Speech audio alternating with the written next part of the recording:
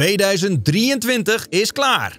En wat zijn er weer een hoop dikke games uitgekomen. Games waar we al jaren op wachten en games waarvan we vorig jaar het bestaan nog niet eens wisten. Hoog tijd voor de PU Awards dus. Om te kijken welke game de prestigieuze prijs, de Gouden Baklap, in ontvangst mag nemen.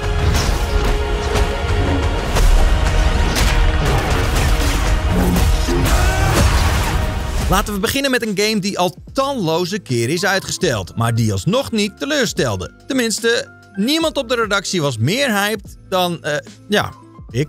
Nummer 5. Ja, ik roep het al jaren. Starfield wordt de shit. En dit jaar hebben we het gezien. Het is de shit. Het is fucking geweldig. Ik heb er echt enorm van genoten. Het heeft me een beetje weer de liefde voor Bethesda games doen herontdekken. En wat ik vroeger deed in uh, Oblivion bijvoorbeeld, dat deed ik nu in Starfield. En dan een keer tien. Ik heb er enorm van genoten. Het avontuur was fantastisch. Um, de vrijheid die je hebt en de verschillende manieren waarop je al die missies kunt uitvoeren is enorm. En ik heb daar ontzettend van genoten. Het feit dat, het, uh, ja, dat je gewoon echt, echt je eigen avontuur beleeft uh, als geen ander. Vond ik heel erg tof. En het einde sluit daarna ook nog een keer perfect aan op de New Game Plus. Het was voor mij de game van het jaar. En voor Power Limited dan de nummer 5. Nou ja, goed genoeg. En dan kan de mod community ook nog eens lekker losgaan met deze game. Ja, ja, we gaan hier nog jaren plezier aan beleven. Misschien kunnen we ook wel een mod toevoegen waarmee je je hele schip vol kan stouwen met baklappen. Uh, Starfield zagen we misschien al wel van mijlenver aankomen, maar er was een game die misschien wel de verrassing van het jaar was. Nummer 4. Nou, heel eerlijk, ik keek niet super hard uit naar Mario Bros. Wonder. Gewoon omdat ik dacht, de Switch is afgesloten met Zelda, de laatste grote game. Maar toen die uitkwam, kon ik eigenlijk niet geloven hoe goed het was. Deze game duurt ongeveer 10, 15 uur als je de main story speelt. En het waren oprecht de allerleukste uren die ik deze, dit jaar in een game heb doorgebracht. Gewoon omdat die constant blijft verrassen. Elk level heeft weer een twist. Dan speel je weer op zijn kop. Dan zijn er schaduwen. Dan zit je weer in een muzieklevel. En uh, van begin tot eind is het eigenlijk één groot feest. Deze game doet zoveel dingen goed. Het voelt ook nog eens als Super Mario Odyssey 2, waar we natuurlijk ook al lang op wachten. En tegelijkertijd is dit precies wat 2D Mario nodig had. Dus ja, nummer 4. Ik ben ontzettend blij dat hij in de lijst staat. Ja, wie had verwacht dat we dit jaar met de slurf van Mario zouden kunnen spelen? ja, uh, zo'n olifant is in ieder geval een stukje cuter dan een radioactieve spin. Maar toch, nummer 3. Ja, ik heb eigenlijk niet zo heel erg veel met die superhelden en met Marvel en DC en weet ik veel wat. Maar die eerste Spider-Man game vond ik heel erg tof. En het komt gewoon omdat Sony die heeft dat hele filmische uh, game-stijl hebben ze zo onder de knie. Uh, en ik, ik geniet daar zo hard van. wat ik zeg, ik heb niet zo heel veel met die characters, maar de game zelf vind ik zo tof. De wereld is heel erg vet. het ziet er waanzinnig mooi uit. En wat ik zeg, echt die filmische games, dat is echt my jam. Dus ja, ik had hem zelf op nummer 2 in mijn eigen lijstje, maar we hebben hem in het algemeen op nummer 3. Ja, Spider-Man 2 deed niet veel verrassends, maar het was gewoon allemaal zo goed. Er waren twee games die dit jaar uitvochten wie de beste van het jaar zou zijn. En het was spannend. Nummer 2. Dit is gewoon de ideale combinatie van een tabletop game, een legendarische tabletop game genaamd Dungeons Dragons. Heb je misschien wel eens van gehoord? En alle plezier die je kan hebben in digitale vorm, in videogame vorm.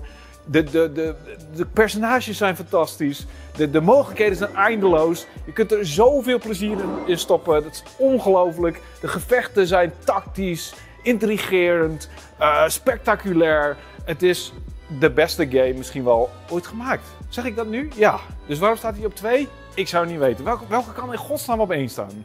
Ja, dat is een goede vraag, Wouter. Maar ook al is Baldur's Gate 3 een geweldige game, er was er toch eentje beter volgens de hele redactie. En ook al kun je daar niet romantisch doen met beren, het gaf wel volledige vrijheid en een beer van een bad guy. De nummer 1. Gouden baklap voor beste game van 2023 gaat naar... Wat? Zelda? Natuurlijk gaat hij naar Zelda Tears of the Kingdom. Er is toch geen andere optie dan dit magistrale spelletje. Ik heb volgens mij 300 uur in die game gestoken en ik ben nog steeds niet klaar. Ik heb er twee weken vrij voor moeten nemen. Wat Martin in één keer goed vond trouwens, verbazingwekkend. Maar uh, ik heb me geen seconde verveeld man. Alles wat je daar doet is goed. Het is het beste verhaal in een Zelda game ooit. There, I said it.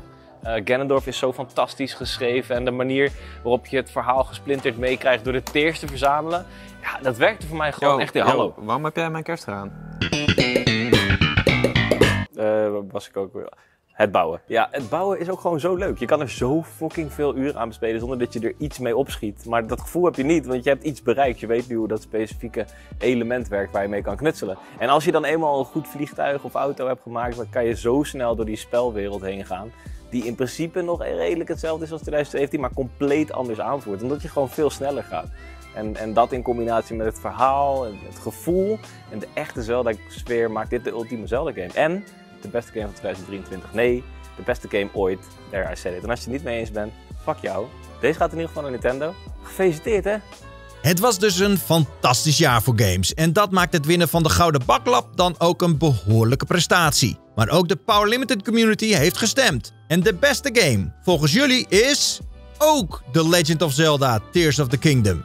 Oeh, wat een enorme eer voor de makers van de game. Eerlijk is eerlijk, een terechte winnaar, want er is geen spelwereld waar we ons dit jaar zo massaal in hebben verloren als deze. Sommige mensen, en ik noem geen namen, hebben alleen al meer uren vergooid aan het winnen van die minigame met die kop van Jut dan aan andere games. Maar man, wat was het een prachtig gamejaar. You put my family in the horror story. This is the greatest plan ever. I can't do this without you.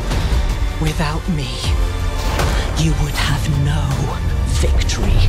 Now who's gonna stop me? You know the truth. Trust in me. It's time to find out who I am once and for all. It's you. You're the one who's been guiding us. We zijn ook benieuwd wat jullie verder dit jaar allemaal hebben gespeeld. Drop dus jouw favoriete game van 2023 in de comments. En mocht je benieuwd zijn, houd dan ook de andere categorieën van de PU Awards in de gaten. Want we hebben nog meer gouden baklappen hoor. Houd dit kanaal dus in de gaten door te abonneren en geef een duimpje omhoog als je dit een fijne video vond.